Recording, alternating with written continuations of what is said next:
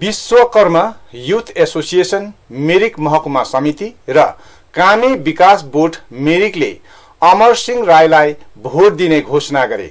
एसोसिएसनका अध्यक्ष चन्दन रिजाल सचिव लीला प्रकाश सिन्चुरी र सल्लाहकार सतीश दियालीले आज यस्तो घोषणा गरेका हुन्। हामी सम्पूर्ण जातिको पक्षबाट र अहिले सत्रौँ लोकसभा चुनावको माहौलमा र बङ्गालका मुख्यमन्त्री सुश्री ममता ब्यानर्जी अनि यहाँका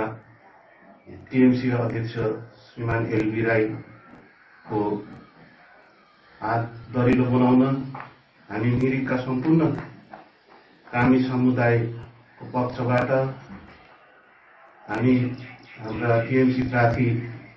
श्री अमर सिंह राईलाई सम्पूर्ण कामी समुदायको पक्षबाट उहाँलाई भोट दिएर विजय गराउने हामी एउटा घोषणा गर्छौँ र मिरिकमा हामीलाई दुईजना बोर्ड मेम्बर दिनुभएकोमा पनि हामी श्रीमान एलबी राईज्यूलाई भोलि धन्यवाद दिन चाहन्छौँ र दार्जिलिङमा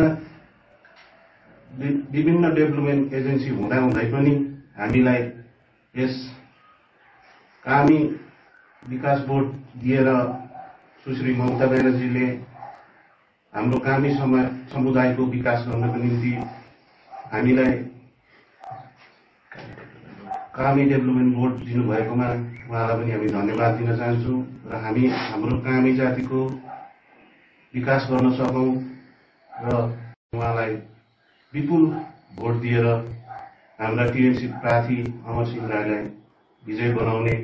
सम्पूर्ण हाम्रो मिरिक क्षेत्रभरिका कामी समुदायलाई पनि हामी अपिल गर्न चाहन्छौँ। हामीलाई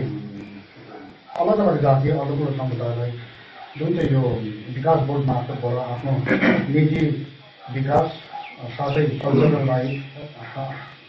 जागृत गरेर राख्ने एउटा जुन चाहिँ प्रावधान उपलब्ध गराउनु भएको छ। अब त्यसैको त्यसैलाई मध्यनजर राख्दै अहिले योभन्दा विगतको दिनमा जति पनि बैमिन सेटाहरू आपसमा थियो त्यो कलालाई हामीले पन्छाएर पर राखेर आफूको उपरान्त चाहिँ विकास बोर्डको मार्फतबाट राम्रोसँगले प्रावधानिक तौरमा चाहिँ हामीले विकास उपलब्ध गराउने सक्षमता प्रदान गर्दै विशेष आजको जनगण चाहिँ हामीले राज्य सरकार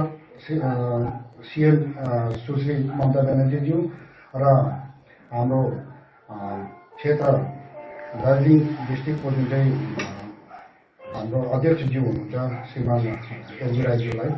यो आश्वस्त गराउनको लागि हामी जनगण भएको छौँ कि यसपालिको जुन चाहिँ हाम्रो प्रार्थी हुनुहुन्छ। श्रीमान अ, अमर सिंह राईज्यूलाई यो हाम्रो समस्त यो मिरिक महकुमा को तर्फबाट चाहिँ कामी विकास बोर्डको तर्फबाट चाहिँ विपुल मतले उहाँलाई विजय गराउने हामी तर्खरमा छौँ र आउने दिनमा पनि यसरी नै हामी राज्य सरकारबाट आश्वस्त हुन चाहन्छौँ कि भविष्यमा पनि हाम्रो हामी समुदायको त्यो राम्रो डेभलपमेन्ट होस् र आफ्नो कल्चरलाई चाहिँ जागृत गराउने एउटा सक्षमता उहाँले जुन चाहिँ हामीलाई प्रदान गर्नुभएको छ। त्यसमा चाहिँ हामी उत्तीर्ण हुन सकौँ भन्ने एउटा आश्वस्त हामी आफू पनि हुँदैछौँ र भविष्यमा गएर हामी राज्य सरकारलाई नै सहयोग तुल्याउने चाहिँ हामी